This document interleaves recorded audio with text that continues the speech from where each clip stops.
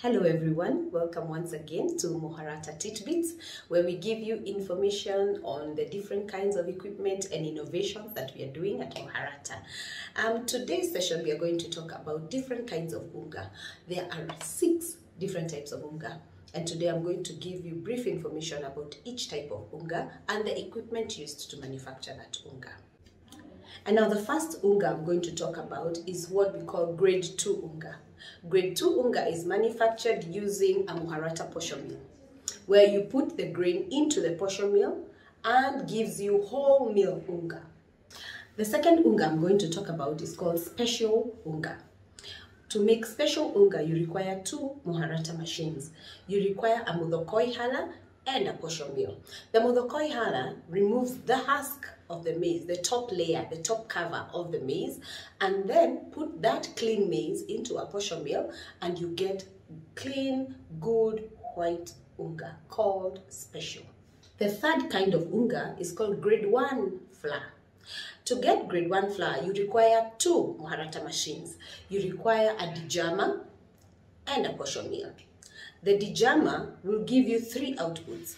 It gives you the maize husk, the maize germ, and the clean maize from the degermer. This clean maize, you then put it into a posho mill, and the ground flour gives you grade 1 flour. The fourth type of flour is called special sifted flour. To get special sifted flour, you require two machines from Muharata. You require a roller mill and a crusher.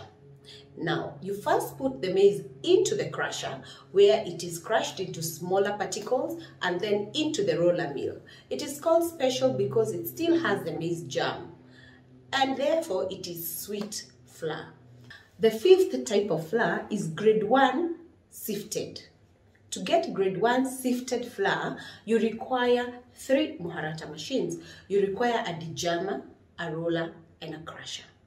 Now, you first put the maize into the degermer, which removes the husk and the germ, then into the crusher, which crushes into smaller particles, then into the roller mill, which gives you a nice sandy consistency.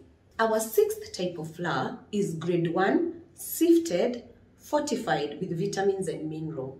To get this kind of flour, you require a Muharata sifted flour plant. Now, we have a range of them from 400 kilos per hour all the way to 2000 kilos per hour.